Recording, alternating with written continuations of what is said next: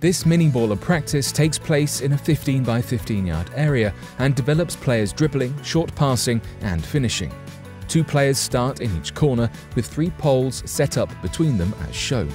One player from each corner must dribble with close control through the poles before playing a 1-2 combination for their teammate to begin their own dribble.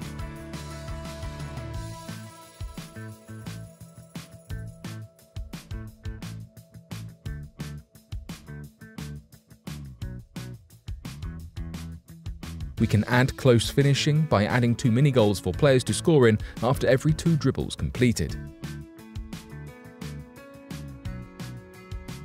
There must be a focus on accuracy over power with finishing, with an extra point awarded if the player hits the corners. A great practice for players to really improve their dribbling skills, short passing and finishing, not forgetting the social corner, supporting teammates throughout.